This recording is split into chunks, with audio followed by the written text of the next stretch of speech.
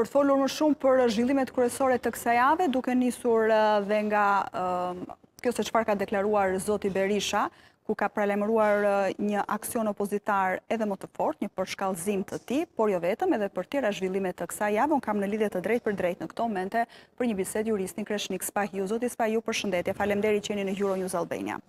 Përshëndetje.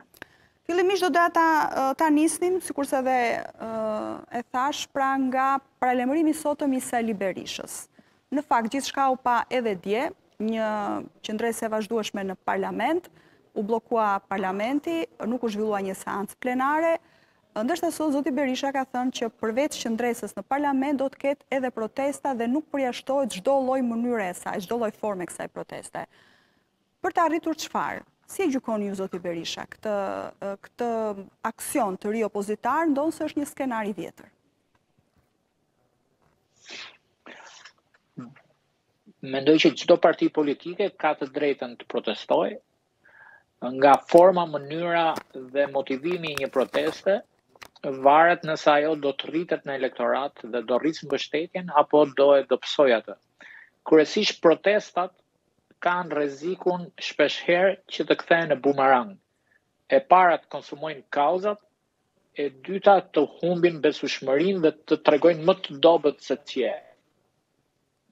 Uh, mos harrojmë që një vit më parë ne kemi parë 2-3 protesta që vinin gjithmonë duke duke u rrudhur dhe ato patën efektin negativ në zgjedhjet lokale të 14 majit, në të cilat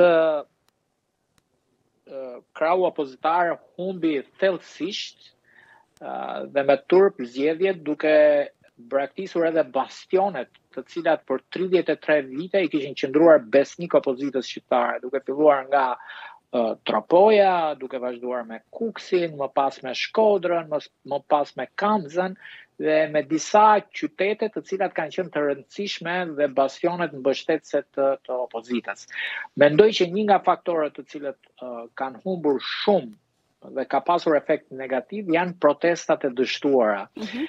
uh, një nga arsyet në cilat që pas zgjedhjeve lokale të cilat këta i konsideruan të vjedhura, nuk kanë protestuar më është sepse kanë qenë të bindur që nuk i mbështet askush në në sheshe. Me humbjen e disa bastioneve nuk kanë edhe më karburant për t'iu dalë në shesh. Çfarë do të thotë kjo?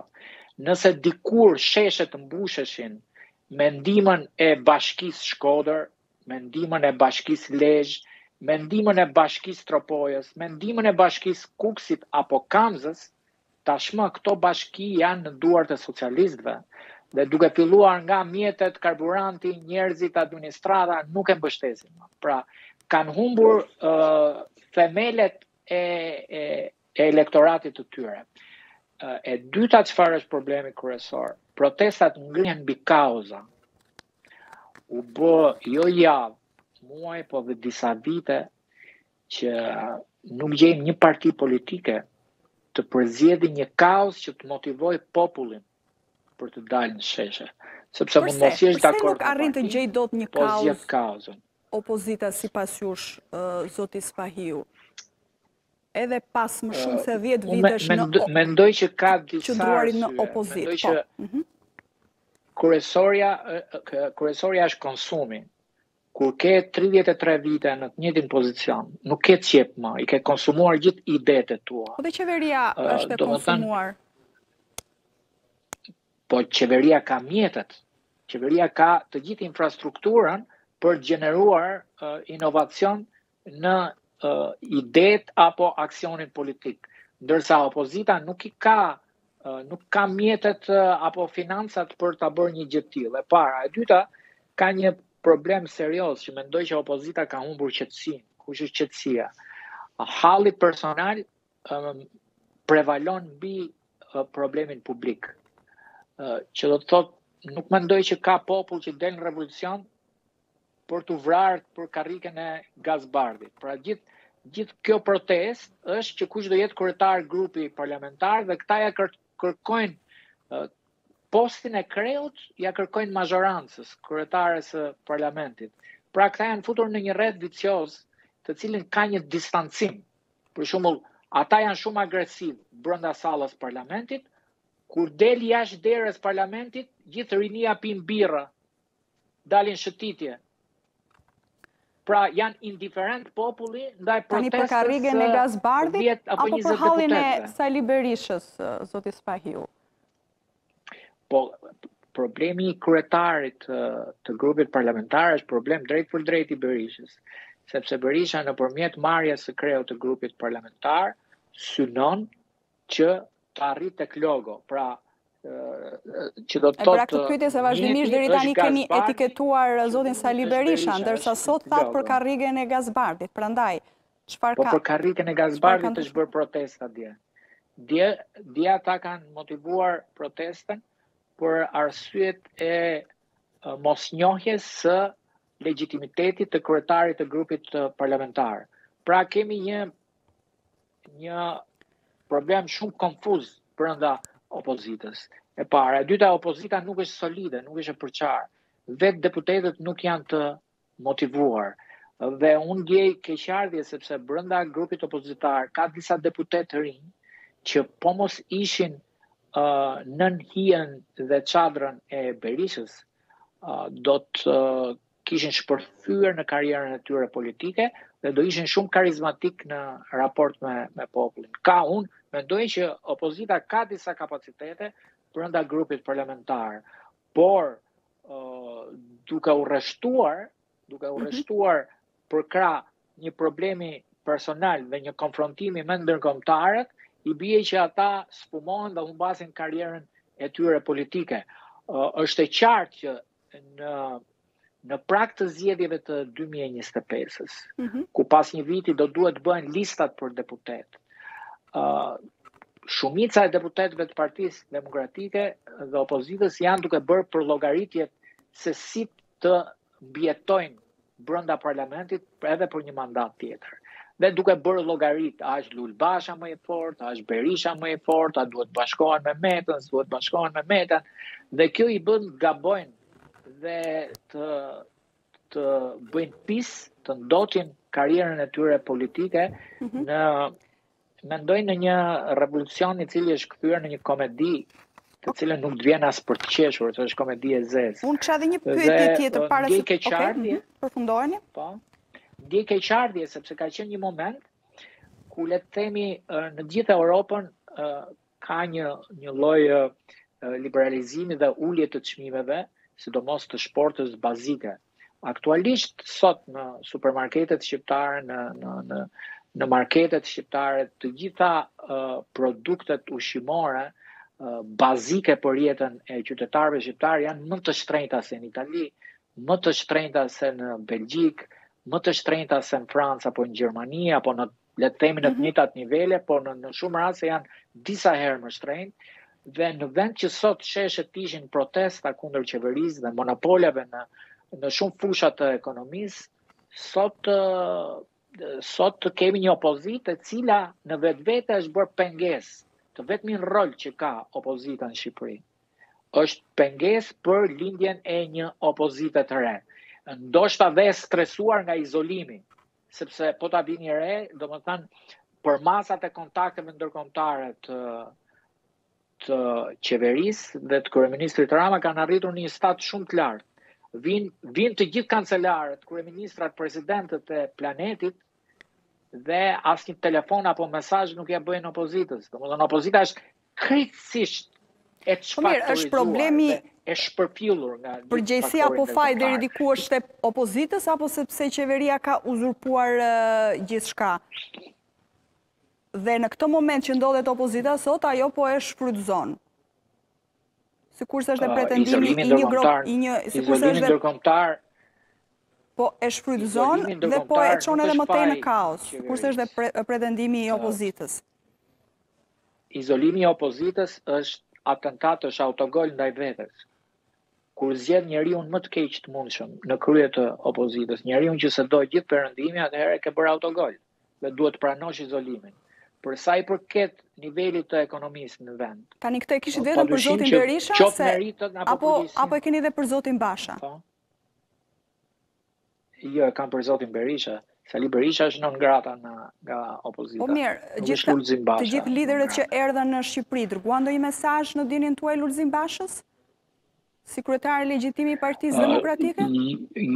Sigurisht që nuk i dërguan, por uh, ndryshe nga Sali Berisha, Lulzim Basha kalon edhe oqeanin, kalon dhe Adriatikun, shkon dhe në Bruksel, shkon dhe në Berlin, shkon dhe në Londër. Është një ndryshim shumë i madh i njeriut i cili ka kontakt me gjithë faktorët ndërkombëtarë.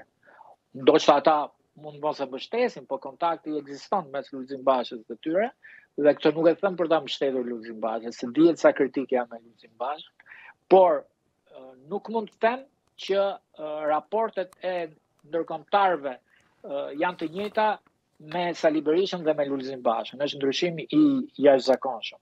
Mendoj që ndër faktorët ndërkombëtarë, njeriu që ka ndër faktorët opozitarë, njeriu që ka më shumë kontakte sot dihet është Lulzim Basha, nuk është ndonjë faktor tjetër brenda opozitës që të ketë kontakte me ndërkombëtarë. Tani, ë po. Sikurse thashë, do të kemi edhe çështje të tjera për të diskutuar. Në fakt, një tjetër ngjarje e rëndësishme vjen nga Kosova, është një ngjarje që do të jetë nesër, por gjithsesi ne e komentojmë sot. Bëhet fjalë për pesëshen, Kuinti, përfaqësuesit e të cilëve do të vizitojnë nesër Albin Kurtin, por edhe do të ketë një vizitë edhe në Serbi, një takim me Aleksandr Vuçiç.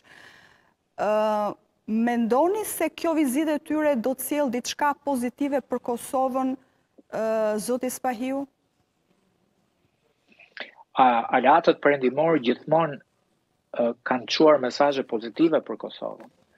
Problemi është sa përfaqësuesit politikë të Kosovës i mirëpresin dhe janë mirënjohës për mesazhet pozitive të perëndimit. Shpesh herë Përfaqësuesit politikë në Kosovë janë armiqësorë me Perëndimin, duke krijuar një faqe të errët pas 20 vitesh me faktorin ndërkombëtar.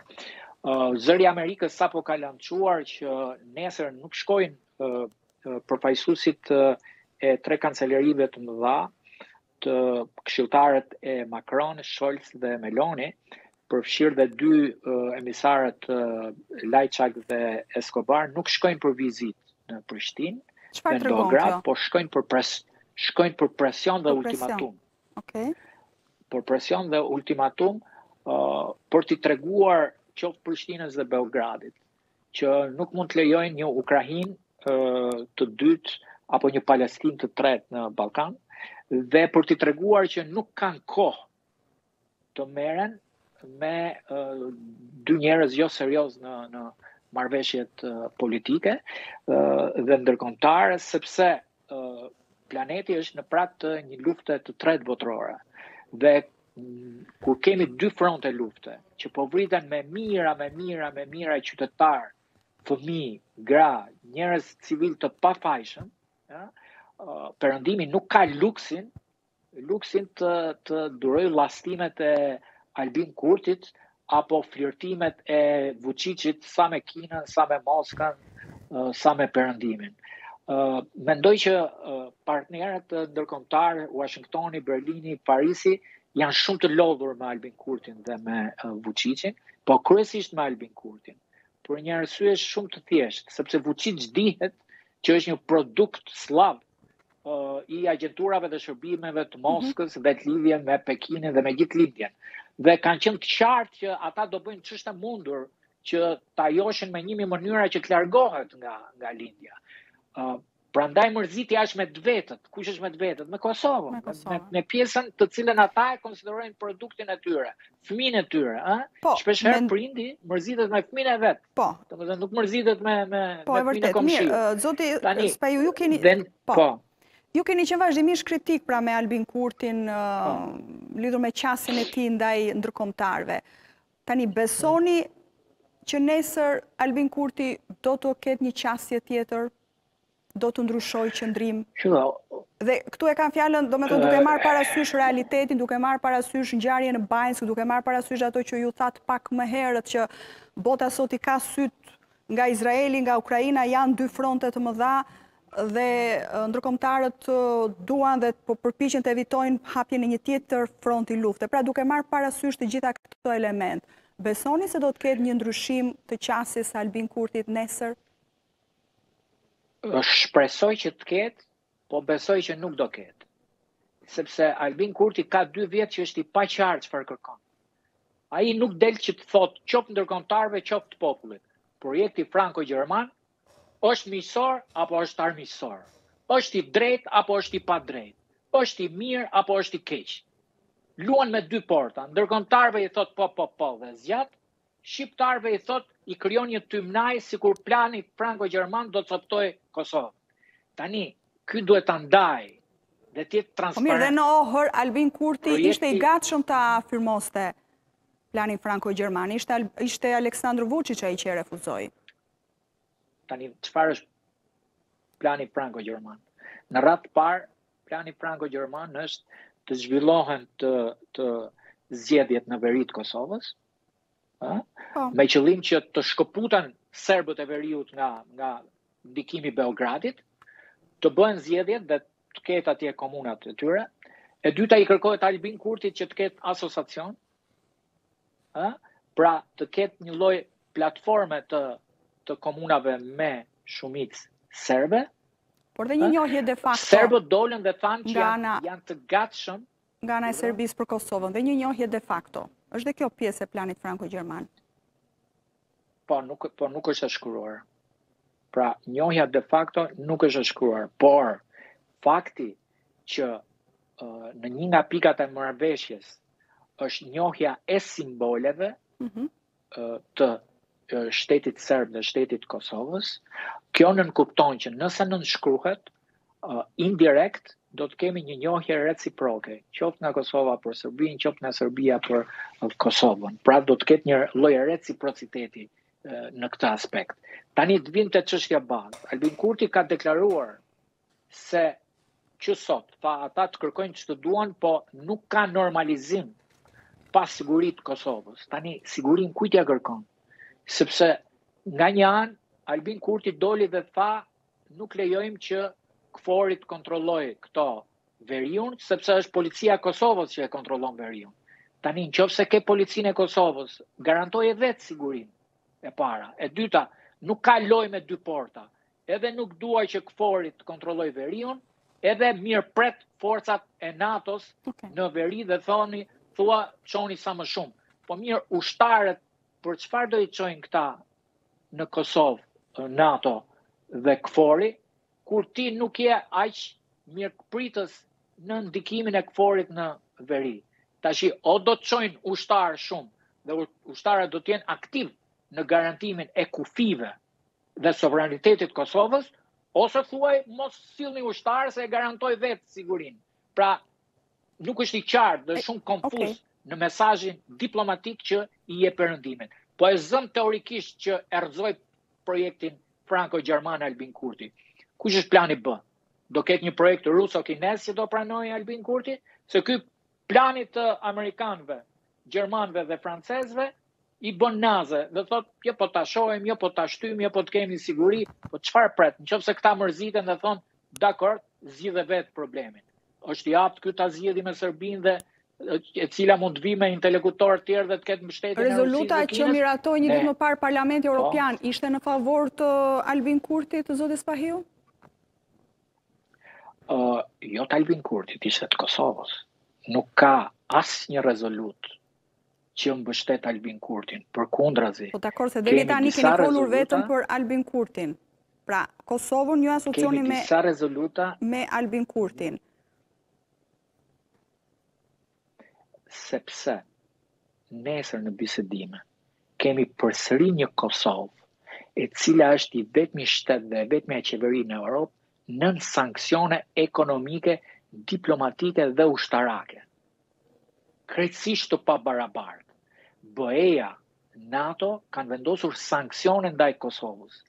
Shtetet e Bashkuara të Amerikës kanë ndërprerë çdo kontakt diplomatik me Qeverinë e Kosovës. Po pra, edhe pikërisht në këtë rezolutë Parlamenti Europian kërkon që t'i hiqen Kosovës këto sanksione dhe t'i vendosen Serbisë.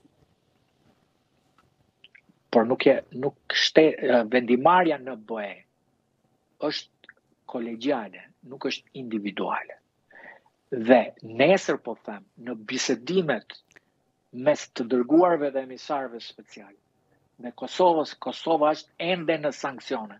Sanksionet do të hiqen, po do të hiqen në momentin kur do të ketë implementim të marrëveshjes, sepse BE-ja është serioze në vendimmarrjen që merr. Nuk mund t'i heqi, t'i vendosi, t'i rivendosi 2-3 herë. Dhe ajo çfarë mendoj që pritet, është që uh, me Beogradin këta do t' s'do japin asnjë alternativë tjetër. Presioni ndaj Beogradit është shumë i madh sepse edhe presidenti Macron, edhe kancelari Scholz dhe Washingtoni uh, janë deklaruar hapur kundër uh, akteve terroriste të 24 shtatorit dhe nuk i kanë lënë hapësirë Vučićit uh, për të anashkaluar këtë ngjarje të rëndë. Nga ana tjetër, Mirëkuptimi dhe marrëveshja duhet të jetë me Albin Kurtin, i cili duhet të përfitojë nga një e keqe e madhe që ishte njëzet e katër shtatorit. Pse? Sepse terrorizmi i njëzet e katër shtatorit ktheu faktorin europian dhe amerikan pro Kosovës. A ka problem se nuk po e dëgjoja zotin Spahiu, vetëm një sekond zoti Spahiu, se nuk po ju dëgjoja. Po. rezoluta jo atëherë nuk jo ka problem, e bashkimit europian Dakord. Rezoluta e Bashkimit Evropian. Mhm. Mm po mund të vazhdoni. Rezoluta e Bashkimit Evropian. Po, rezoluta e Bashkimit Evropian dhe ngjarja 24 shtatorit ka favorizuar Absolutisht Kosovën dhe është në, në dëm të Serbisë. Okay. Dhe në diplomaci, momenti është determinant. Albin Kurti duhet të kap momentin po. në cilën mbështetja ndërkombëtare është më e madhe. E Por nëse do të vonojmë ngjarjet lufta në Izrael dhe lufta në në Ukrainë do të eklipsojnë hallin tonë të shqiptarëve. Halli shqiptar do dali jo në plan të dytë, po në plan të dhjetë, mm -hmm. dhe duke qenë në plan të dhjetë në agjendë, mbështetja ndërkombëtare do të bjerë dhe vonesa është dëm për Kosovën, okay. jo Kam dëm një, për Serbinë. Edhe një pyetje të po? fundit, zoti, po të ma përfundoni ju lutem dhe të kalojmë dhe tek një pyetje e fundit. Po. Dakord, ngaqë ju ndërpreva, prandaj gjithsesi, kjo javë ishte e rëndësishme për Shqipërinë sepse u zhvillua samiti i procesit të Berlinit, por pati dhe vizitën e presidentit francez Emmanuel Macron një ditë më pas. në vija të përgjithshme, çfarë sollën këto dy ngjarje për Shqipërinë? Qoftë samiti, por dhe vizita e presidentit Macron.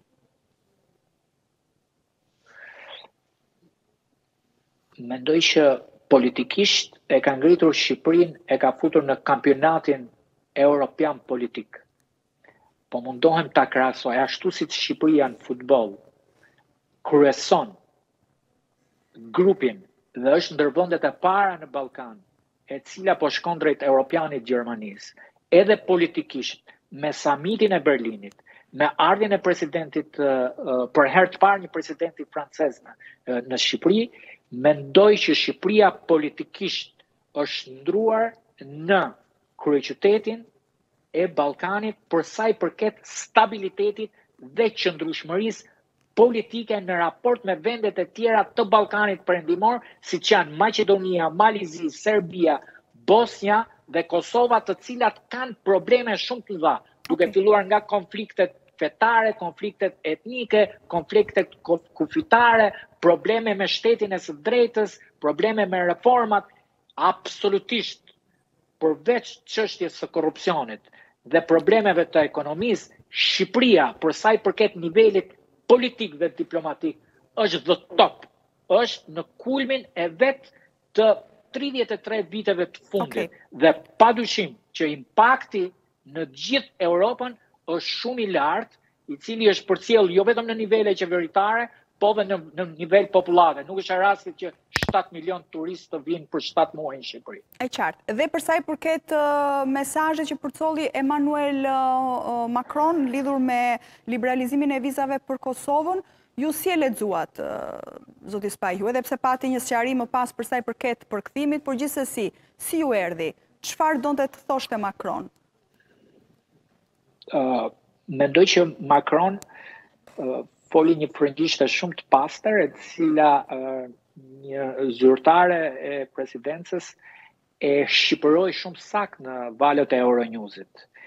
Macron, zyra e Macron sqaroi që në deklaratën e tij Macron ka deklaruar që uh, Albin Kurti betrayed our faith.